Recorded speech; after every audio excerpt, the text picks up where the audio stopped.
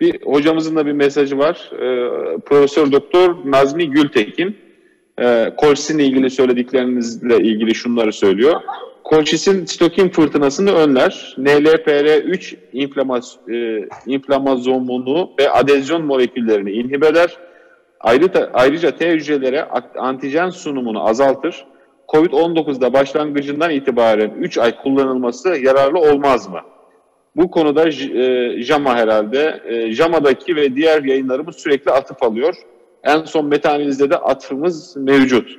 Kanada'da Tardif tarafından gerçekleştirilen Kolkorana çalışması da yararlılık lehine.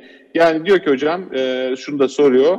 Covid-19'un başlangıcından itibaren 3 ay kullanılması yararlı olmaz mı koşisinin? Nazım hocam bunu... Nazmi hocamın dediği güzel ama hocam bence yani bilimsel e, düşünen sistemde herkese aynı tedavide sıkıntı var. Yani Covid-19 geçiren adamın evine gidip 8 paket ya da işte 8 tablet sabah akşam aynı ilaçlar. O kişinin durumu hakkında bir bilgimiz yok. Hani kişiye özel tedavi, kişiye özel tıp var ya o önemli. Ama Nazmi hocamın dediği doğru.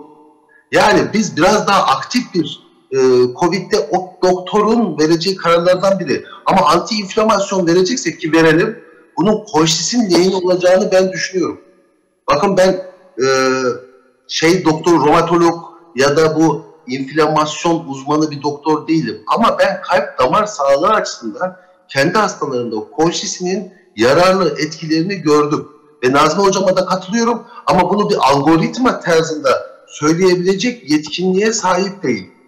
Ama yani bunu... herkese verilmesi gerekmiyor diyorsunuz. Herkese verilmesi sakıncalı olabilir. Ama genel olabilir. olarak...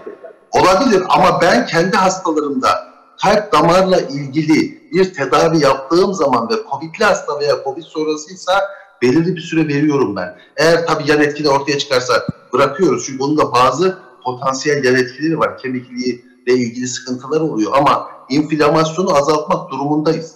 Bunu ilk başta e, Saygın Hocam'ın dediği gibi hidroksiklorokinle yapmaya düşündüler. Zaten inflamasyonu tek biz ortaya çıkarmadı. Bütün dünya zaten biliyordu.